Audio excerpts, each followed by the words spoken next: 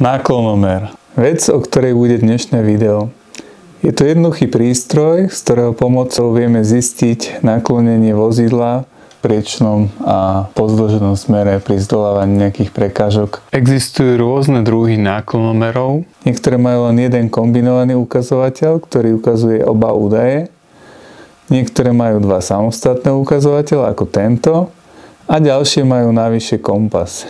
Terénne vozidlá mávajú naklonometer ako súčasť štandardnej výbavy, nie však Lada Niva, tá má len volant a 4 kolesá a zvyšok si už štandardne musíte dorobiť doma. Takže poďme si ukázať ako na to. Inštalácia náklonomeru je veľmi jednoduchá. Stačí ho nalepiť pomocou nálepky na spodnej strane na vhodné miesto. Tento konkrétny má však aj podsvietenie a teda sú tu dva vodiče, ktoré musíme niekam pripojiť a to si v tomto videu ukážeme. Tak poďme na to. Na vodiče náklonometru prilotujeme koncovky, v tomto prípade nám bude vyhovať na jednom 6,3 mm dutinka a na druhom očko s priemerom aspoň 6 mm. Na poradí vodičov nezáleží, pre ľahšie letovanie použijeme pajkovaciu vodičku,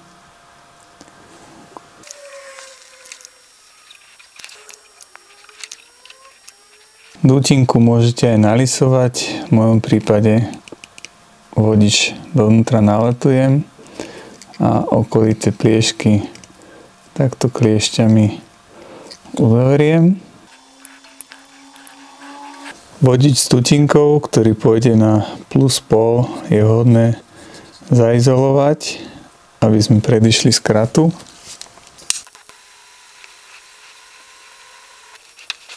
A takto prichystané vodiče stačí už len pripojiť. Demontáž prístrojového štítu je jednoduchá. Najprv uvoľníme jeho kryt, ktorý je okolo. V spodnej časti vyskrutkujeme dve samorezky. Jednu v ľavej časti, druhú v pravej časti. A potom ťahom k sebe uvoľníme západky hornej časti.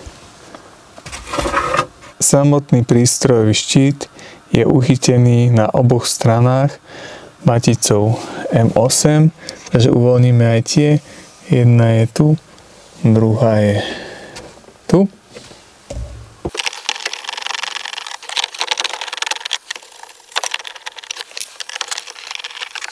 Pod maticami sú podložky, tie však môžeme nechať na mieste a vytiahnuť ich opatrne spolu s prístrojovým štítom smerom k sebe a teraz ich odstrániť.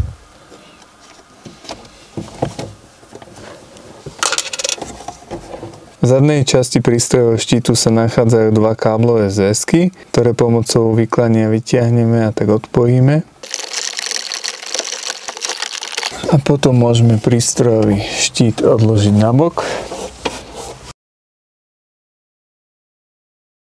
Náklonometer som umiestnil do strednej časti palubnej dosky. Kabeláž je vedená zadnou časťou medzi prieduchom vzduchotechniky a palubnou doskou, kde pokračuje následne do tohto priestoru. Minusový vodič pripojíme na tento šrob a s plusovým vodičom prejdeme týmto priestorom až do poistkovej skrine.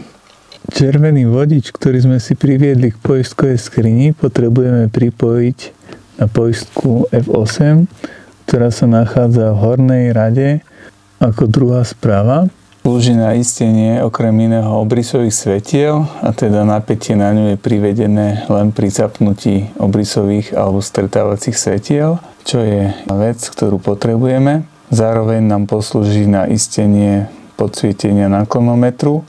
Keďže žiarovka na podsvietenie je veľmi malá, tak jej odber je zanedbateľný a teda netreba poistku zosilovať ani naťahovať silnejšiu kabeláž. Musíme teda demontovať kryt poistkovej skrine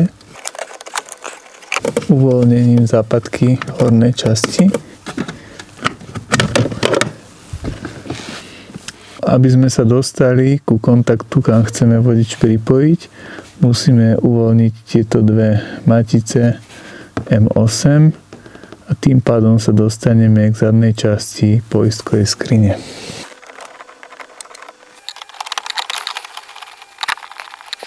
Celý blok môžeme takto jemne vytiahnuť dopredu